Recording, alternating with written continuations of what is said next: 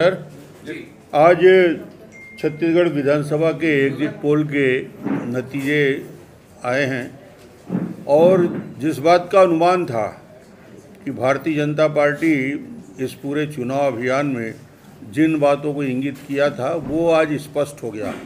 चाहे युवकों का समर्थन हो, महिलाओं का समर्थन हो, और भारतीय जनता पार्टी आज तो एग्जिट पोल दिखा रहा है। पंद्रह से हम अड़तालीस और पंद्रह से छियालीस तक पहुँचने की कल्पना आज एग्जिट पोल के नतीजे में दिख रहा है।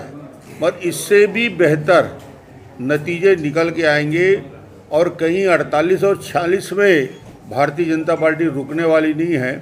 बावन से पचपन सीट तक भारतीय जनता पार्टी जीत के आएगी, जो गैप दिखाया जा रहा है।